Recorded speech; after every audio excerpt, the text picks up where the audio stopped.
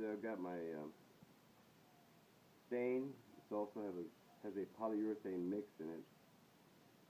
And like I said, it's a gloss.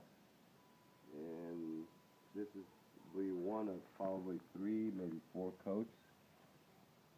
And just get it right on around. Instead of going up and down following the grain, I'm going round because otherwise it'll drip down. This will keep it from dripping down. Plus give you a nice look. About that much on there. And then between coats, sand it with uh, steel wool, real fine steel wool.